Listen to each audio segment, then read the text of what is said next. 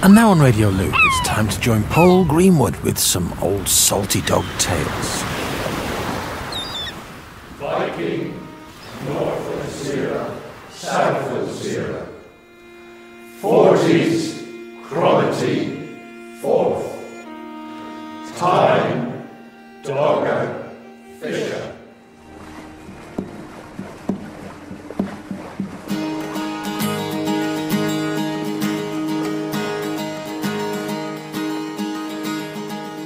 Back in the 1960s, when I was crew on the Lugger Iris, we were pilchard fishing, summertime.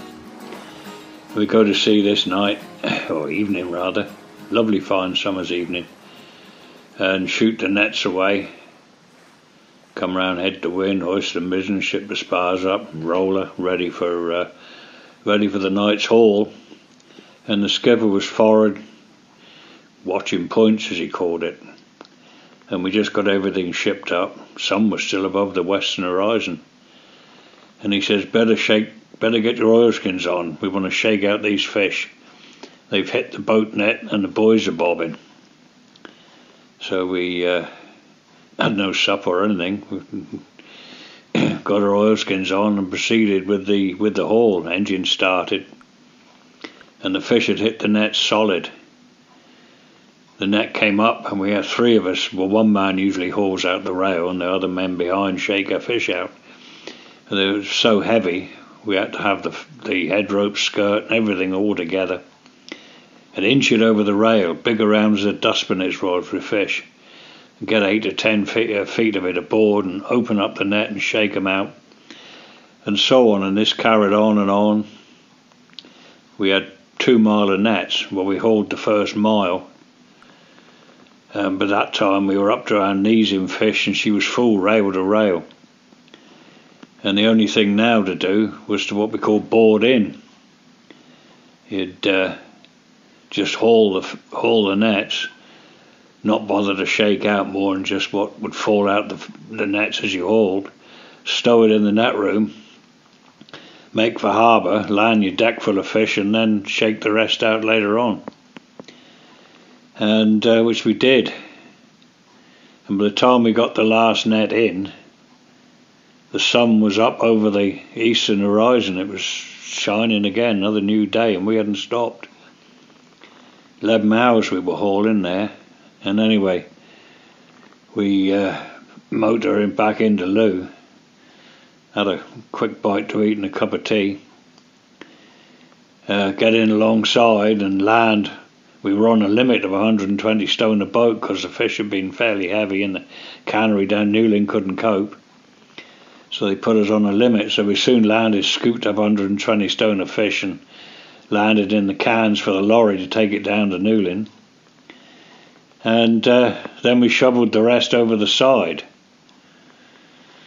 And then we went and had a had a bit of a break, had a meal and one thing another and then rigged the spars and, and, and roller across and proceeded to shake out. We had a mile of net full up to shake out.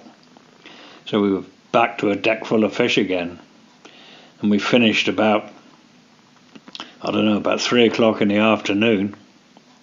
Tide was back in by then. So we cast off and go out in the bay and just put, put the wheel down so she motored in a big circle and just scooped all the fish overboard again scrubbed up, cleaned up, and this was now about five, six o'clock in the evening. So we've been working 24 hours. And Moogie, the skipper, when we got all cleaned up and everything else, said, Well, he said, we just as well go out and shoot the nets again, catch our quota again, all adds up end of the week. And we said, No, thank you very much. And with that, he admitted defeat, and we came in and uh, tied up again but we caught 10 ton of fish and we'd dumped the lot by 120 stone and we'd been 24 hours working it which is pretty hard hard going. And I think we'd earned about that was worth about four pound a man. But uh, me and Jack Harris had been up sharking the day before and we'd been out pilchard the night before that. So we'd been up about 48 hours very tired little teddy bears. Time we uh, time I got and turned in.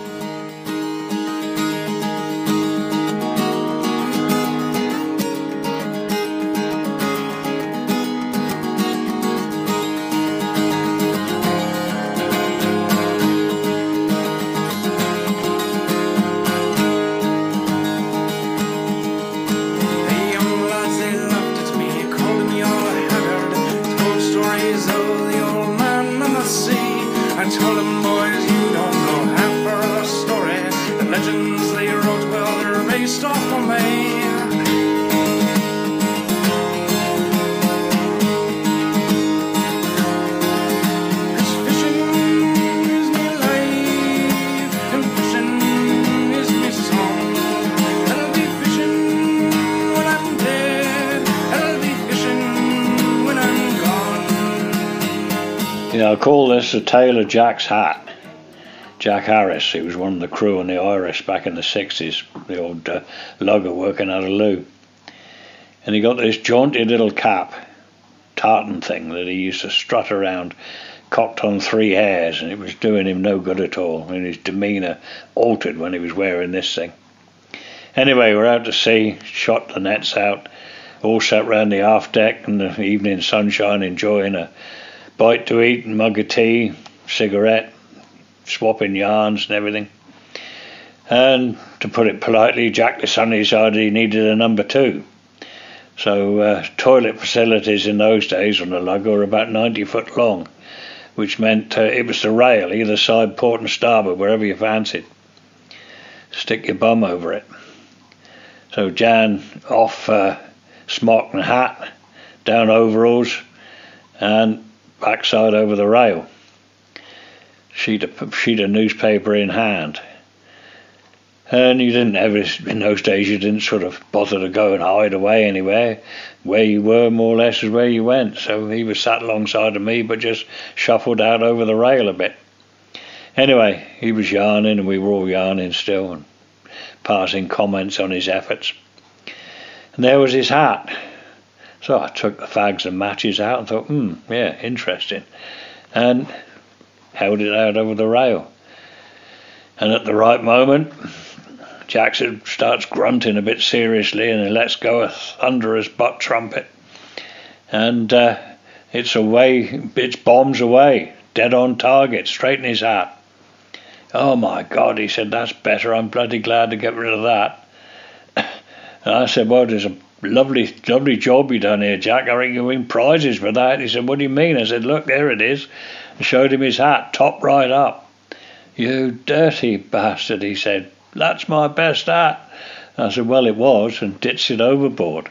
He didn't know what to make of it for a minute, and but eventually saw the funny side and was laughing till the tears rolled down his face. yeah, and that was the end of Jack's hat. He stopped the strutting after that. The fishing was so good I hardly believed it. The fish were nearly flying right in. I raised me old eyes to distant horizons, and I saw them storm clouds rolling in.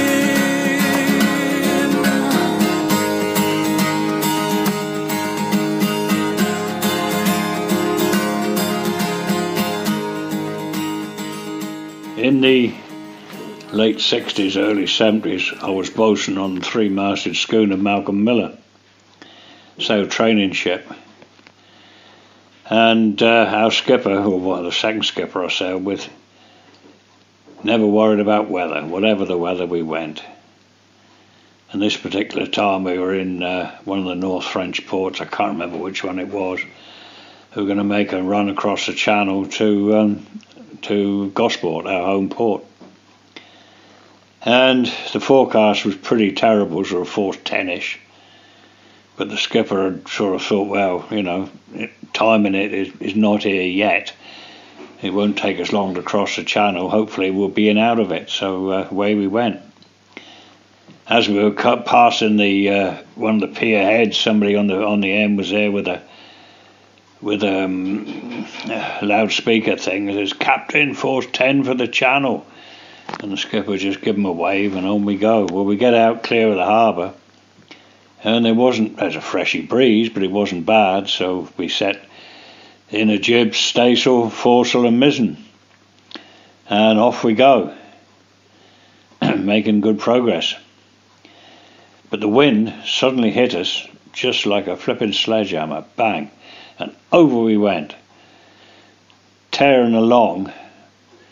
We were over 45, uh, 50, 60 degrees, pinned down. And with the amateur crew of kids we had, there's no way we could get any sail off her. in fact, you, you couldn't move anyway. You know, the side of it was underwater, other was up in the air. The bloody spray was breaking across solid. The air was full of water. Every time the sea broke, uh, the, the wind picked the spray up and carried it. It was just full of water, full of spray. And uh, the kids were battened down below, basically. Me and the engineer took an hour hour about steering. The mate and the watch officer took took another the other hour, and we carried on like this. And a couple of other watch officers took the lookouts, and the old man was navigating. Um, we just praying everything held. Um, Ty was carrying us up channel a bit, um, and the skipper said to the engineer, "Can you start one of the engines? You had two engines and a generator." and uh, he wanted juice as well. So engineer managed to get down the engine room and came up and couldn't start anything. We were over too far and the, and the engines couldn't get their oil. So that was that. We were pure sailing vessel. So on we carried. Everything held, but it was one hell of a bloody trip across. And the water was pouring down the companionways fore and aft because they were just wooden ones and the fore deck or the the um, uh, the half deck as they called it, where the uh, where the trainees lived, was just a wash. You know, water was coming down the companionway like a like Niagara Falls, and the deck was awash of just swilling with clothes and crockery and uh, spew and, and, and everything back and forth and swilling about two foot deep and our uh, our PO's mess back off was about three foot deep till we, till we made land or got into shelter. We didn't reach port of Gosport. We got into an anchorage off um, Brighton eventually. Sailed in, luffed up, down anchors, down foresail and everything. I was in charge of the mizzen with a gang. We got the kids up on deck by this time. Lower away the mizzen, and the top half or top third of it was just gone, blown away. It was a great big um, Bermudan mizzen, and all the roach, the curve at the top, had just gone. All we had left was a roping, and it was a heavy sail too, 15 layers thick, luff and leech, with big ash battens stiffening it up. But it, it had all gone. So we uh, snugged everything down and pumped her out and made everything as best we could and turned in for a few hours. The next morning, set to to square her up a bit, and then we motored down and um, to Isle of Wight and put the sails ashore because they were all badly strained, the ones we'd had set, and the mizzen needed rebuilding. So we had to bend on a whole new load of sails, and uh, the old man didn't uh, never worried about weather, but that was very near his nemesis.